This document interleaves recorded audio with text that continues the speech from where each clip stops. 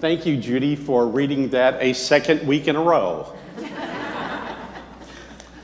I'm sure when you um, just heard that, you thought to yourself, that's not what I expected to hear. I heard that last week, and so did I.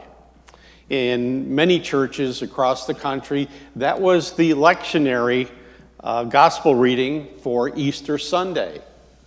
And so I listened uh, to many sermons last Sunday in churches that I've been a part of to hear how they were um, using that particular scripture. Now, I want to remind you that this is considered the first Sunday after Easter is often considered a low Sunday. Do you know why it's called a low Sunday? Because the amount of people attending church the Sunday after Easter gets a little low. But it's my favorite Sunday. Over the years, uh, I served in many capacities in churches, but my favorite was being the associate pastor who was always given the Sundays after the holidays. But I didn't consider them low. I considered them Sundays in which people had the opportunity to hear and to consider what they had heard before, or maybe didn't hear it quite so well. Last Sunday, in all the churches that we participate in, there's great music, more music than ever, that lifts our spirits. There's flowers and there's scents waft through the sanctuaries, and we are in our finest dress, and we're glad to see families, and all that celebration takes place. But on the next Sunday, we have to act as Easter people. And that's what we are today. When I first heard this story many years ago, I was about 14 years old, I think. And it was on a Sunday night. It was Palm Sunday, actually, and our youth group had gathered together, and we usually did a lot of fun things together. And of course, the reason that all the boys came to this group of about 70 was because all the girls came to this group. On that particular Sunday night, though, the pastor divided us up into groups and asked us to consider the Easter story, the resurrection story, from each one of the four Gospels.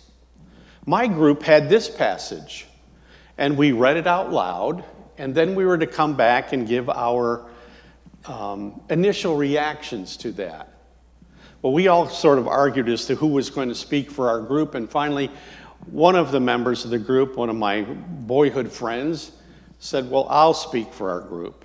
And when it came time to talk about what he learned in that resurrection story, he said to everybody else in the group, When we read that, that wasn't what I expected to hear. That the women went, away afraid, and they said nothing to anyone. Now, if Hollywood was in charge of putting together that resurrection story, they would have rewritten it completely.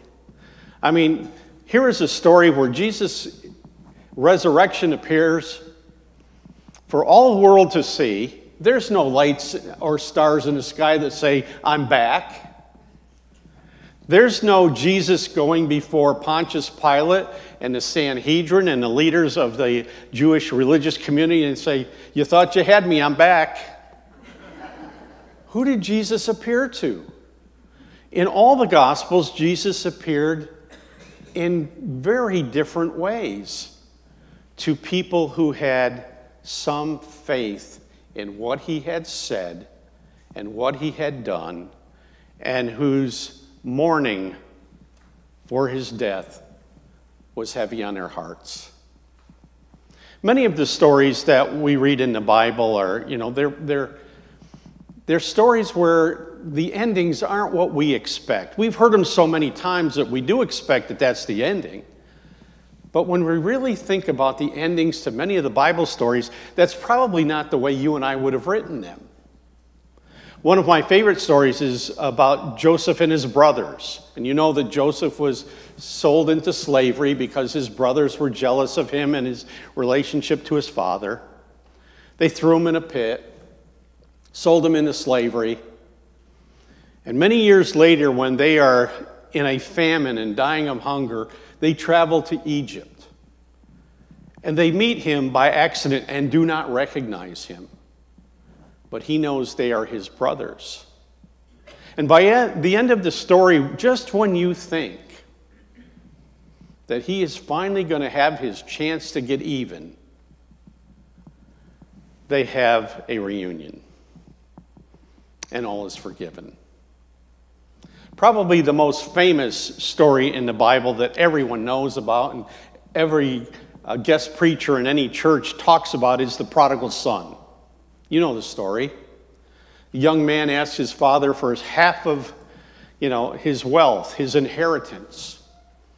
And he goes away and he spends it on who knows what. But he goes through it.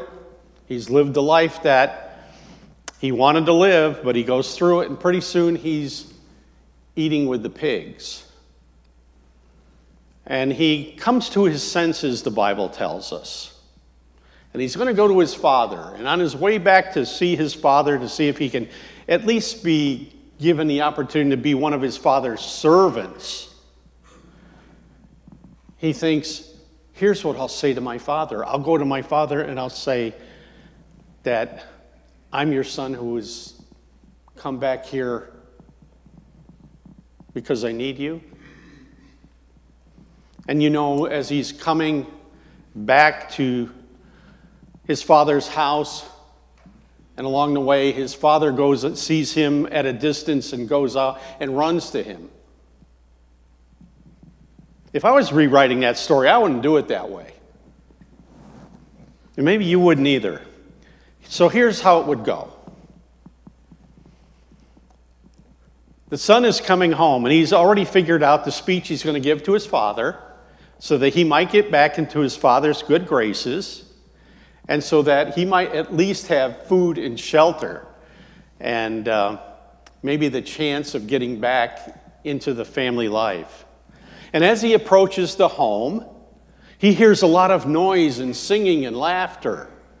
And as he comes to the gate of the home, one of his father's servants says, I think you might want to try the back door.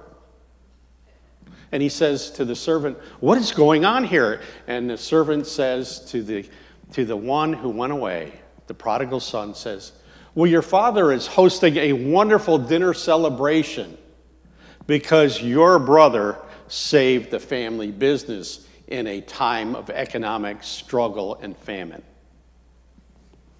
Make more sense to you? Maybe you ought to go to the back door. Maybe you ought to lay a little low and not say much to your mother for a while. Don't let the neighbors get a chance to talk about where you might have been. It makes more sense. It's kind of what we would expect, it's kind of the way we live. So much of the Bible is like that, it's told in parables. And parables are riddles. They must have been welcome news for Jesus' hearers when they heard those parables, those stories about a woman looking for a lost coin or someone needing bread.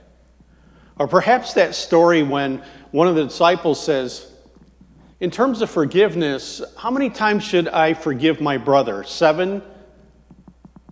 And Jesus says, No, seven times, seven times. I don't know about you, I have a hard time with the first time. And there are all kinds of stories like that in the Bible. And so when we hear that, we can proclaim easily that's not what I expected to hear. And especially when it comes to forgiveness. I once spoke to a woman who told me that she had been seeing a therapist. And I said, you know, were, were there reasons for that? And she said, Well, I've been having a lot of pain, physical pain, arthritis. It doesn't run in my family, but I've had it. And in talking to my therapist, he suggested that probably if I would talk to my estranged daughter, who I haven't talked to in 15 years, that just maybe the arthritis would lessen. And I said, Well, how do you feel about that? And she said, I told him I'd rather have the arthritis.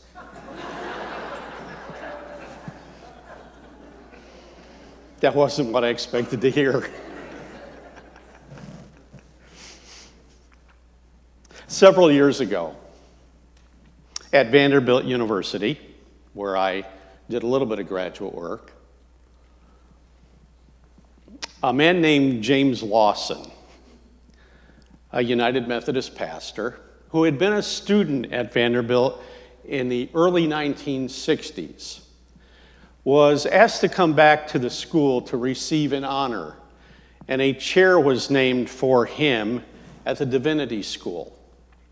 James Lawson in the early 60s was a student at the Divinity School who helped organize and teach peaceful protesting.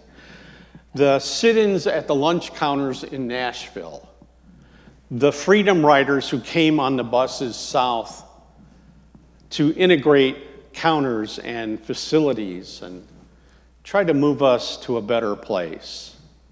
James Lawson was expelled from Vanderbilt University.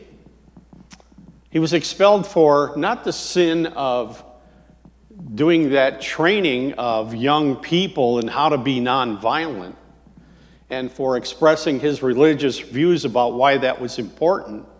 No, he got under the skin of then President Harvie Branscomb because he had the audacity to play intramural football on the college grounds with white boys. And so Harvey expelled him. Harvie also saw to the firing of many of the faculty of the Divinity School from Vanderbilt, who then formed a new theological school in Ohio, where I attended and received my degree. So James Lawson was invited back, and it was a huge crowd that came, and a reporter from the Tennessean, the state newspaper, was there to see James get his honor. At the end, when the benediction was given and the organ was playing and people were still gathering around, a frail old gentleman walking unsteady with a cane came forward to James Lawson and he said, Jim, can you ever forgive me? And James said, I forgave you, Harvie, a long time ago. The reporter for the Nashville Tennessean, in her article about that event, said, I could not believe what I just heard. I didn't expect to hear that. For those of us that have ears to hear, as Jesus said, let us hear. Amen.